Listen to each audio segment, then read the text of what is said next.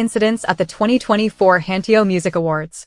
The Hanteo Music Awards caused quite a stir with a series of shocking incidents that turned the event into a chaotic mess. As fans began pushing and fighting in the mosh area near the artists' waiting seats, idols such as ATEEZ were seen instructing the guards on how to keep order. A fan had screamed for Kim Ji-woong to leave the group during the ending pose for their performance.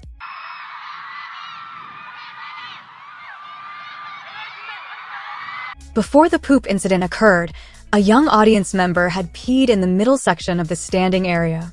Amidst the chaos, someone pooped in the standing area near the waiting area for the singers. Sung Hanbin's fan site master fainted after being hit by a light stick, although details remain scarce. Reports emerged of used condoms in the public trash area of the arena. With the unsanitary conditions and foul odors, both the audience members and idols had a hard time.